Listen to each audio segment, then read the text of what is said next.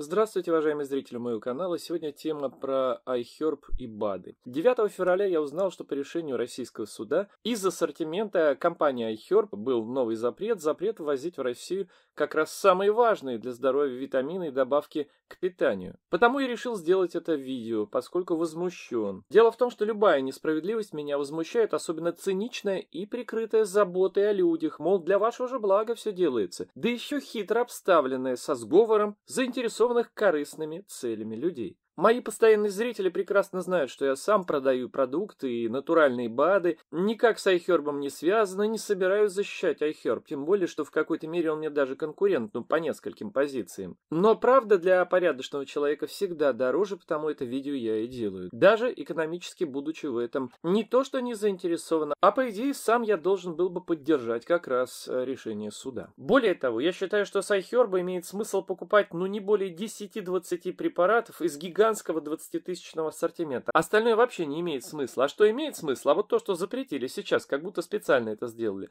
Но, кстати, и продажи этих препаратов удваивались чуть ли не каждый месяц-два. Потому, видимо, и Валар, от мое предположение, сделали упор по запрету вот на именно эти главные препараты. Это витамин В12, метилкобаламин, да? Это витамин D3 в дозировке 5000 МЕ, то есть международных единиц в одной капсуле, о чем я всегда говорил, рекомендовал именно это брать. Одной фирмы, скажем, американской, хорошей. Витамин С запретили, но это ладно, потому что он все равно не органический. Вот в виде таблеток, это не полезная штука. А по витамину С вот эти два видео мои обязательно посмотрите. Если вы хотите покупать действенный, натуральный органический витамин С, то, пожалуйста, он единственная фирма, фирмой в мире компанию Dualife производится, единственный, и мы его представители. Можете купить у меня на сайте nadgar.ru или получать из продуктов питания. Вот, кстати, об этом было мое видео совсем недавно. А всякие аскорбинки там и тому подобное категорически не покупайте. Это еще более опасно, чем принимать антибиотики. Некоторые формы магния запретили, некоторые формы лютеина, альфа-липоевую кислоту с высокими дозировками, ну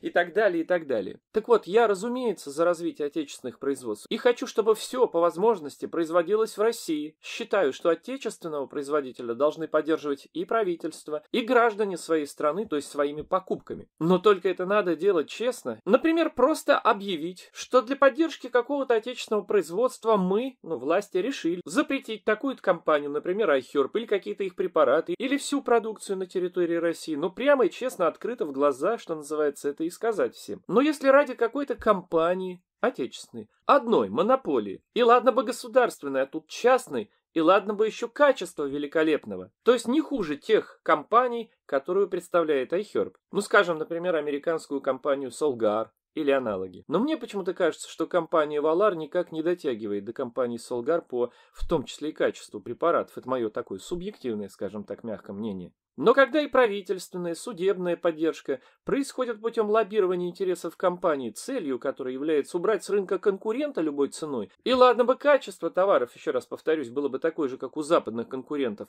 пусть даже у нашей компании были бы дороже, ну, конечно, не в два-в три раза, а так это, конечно, низко и подло. А что же произошло? Да дело в том, что многие интернет-ресурсы говорят следующее, что за очередной атакой Опять стоит алтайский производитель БАДов Эвалар, компания такая, знаете, слышали о ней? Что первая попытка была предпринята расправиться с Айхербом еще в 2018 году, кто-то пишет раньше, когда на эту компанию Айхерб пожаловался директор Союза производителей БАДов пищи господин Жестков. Сама организация была создана по инициативе Эвалара. Да и сам Жестков работал помощником депутата от Алтайского края Александра Прокопьева, чья мама создала и владеет компании Эвалар. Вот как вы считаете, граждане, это случайность или это похоже на какой-то сговор, как вы полагаете? А дальше производители компании Эвалар многократно обращались в Роспотребнадзор и Госдуму с просьбами заблокировать работу Айхер в российском интернете, а потом пошли по проверенному пути, подключив прокуратуру. Легко получили разрешение суда в городе своем, где и располагается штаб-квартира компании Эвалар, кстати, тоже, да, случайность. Истцами тоже выступали бывшие работники компании, входящие входящих на 100% в компанию Эвалар. Ну, хронологию событий легко найти в интернете, кому будет интересно. Ну а два дня назад запретили к ввозу в нашу страну, в Россию, самые, пожалуй, важные препараты. Ну а подобный запрет, конечно, в первую очередь ударит по кошельку большей части населения страны, кто покупал на iHerb определенные препараты. Кстати, многие абсолютно напрасно и не нужно,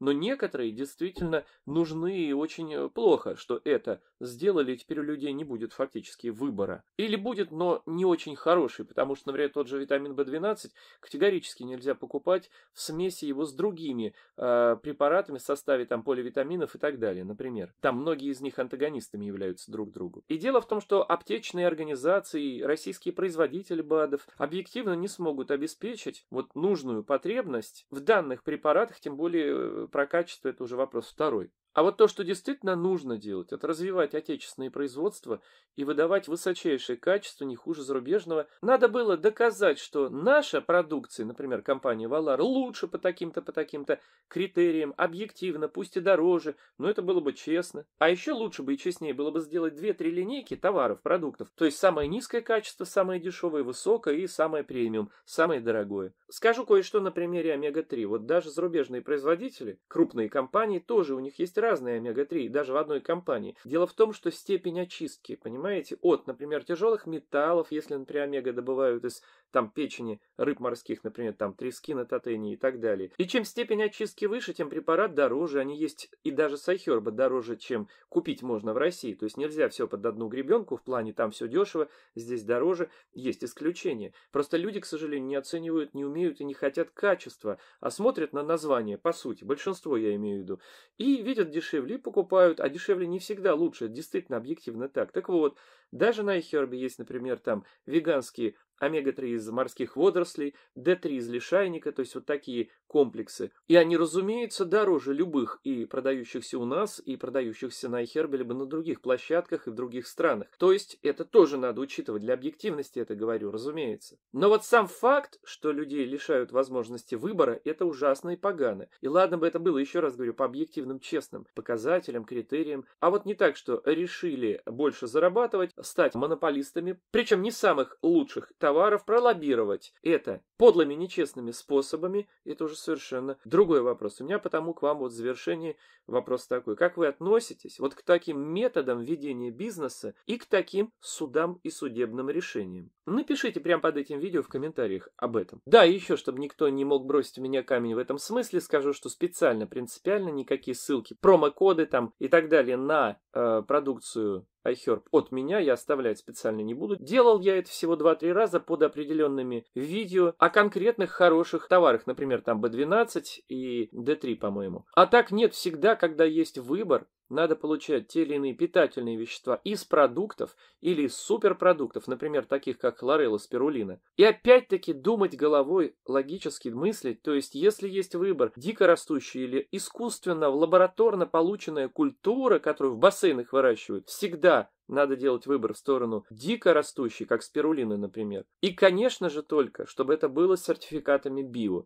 Поэтому не все на iHerb нужно и стоит и разумно покупать. Далеко не все. Здоровье дороже. И не все там лучшее и хорошее. И не все разумно, а только буквально несколько препаратов, да, действительно, но можно сказать нет альтернативы пока, по крайней мере. Ну и давайте теперь сделаем разумный логичный вывод. Для чего все это делается? Это лоббирование, убрать конкурента. А для чего это делается? Для того, чтобы остаться монополистом и уже можно не то что снижать, а еще повышать цены. Это же капитализм. Это же высшая его фаза капитализма у нас в мире сейчас, то есть империализм, то есть передел мира корпорациями. И какая корпорация другой перегрызет, что называется, ну пусть экономическими мерами разными и хитрыми вот такими нечестными, в том числе горло, то та и выживет, и та будет диктовать свои условия. Это общая мировая тенденция. А той свободной конкуренции, какая была на заре становления капитализма, уже давно нет. И теперь крупные поглощают мелких, остаются единицы в своих отраслях, и даже если есть несколько, они вступают в сговор по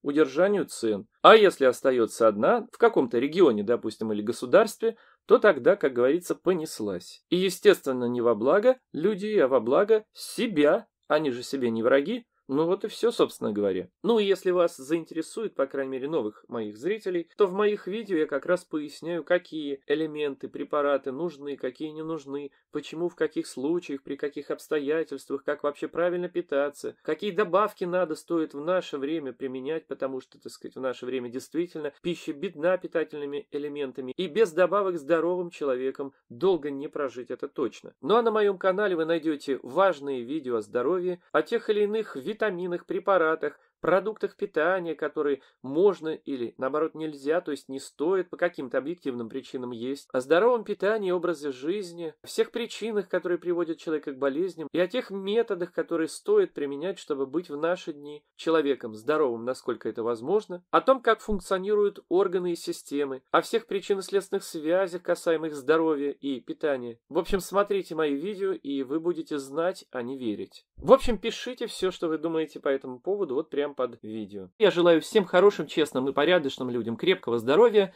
Увидимся в новых видео. До свидания.